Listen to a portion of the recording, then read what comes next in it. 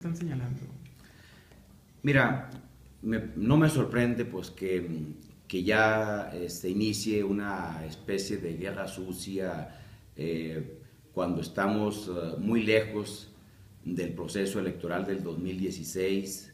Eh, apenas vamos a, estamos inmersos en el proceso electoral de la renovación de la Cámara de Diputados del Congreso de la Unión que es la elección en, junio del 2015,